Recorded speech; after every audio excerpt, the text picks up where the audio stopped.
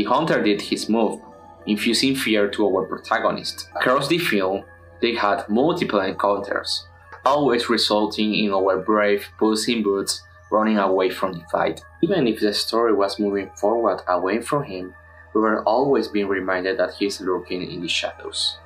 For the first time in his life, the cat encountered an enemy he couldn't defeat, destroying all his belief about being a hero or the legend he proclaimed himself to be.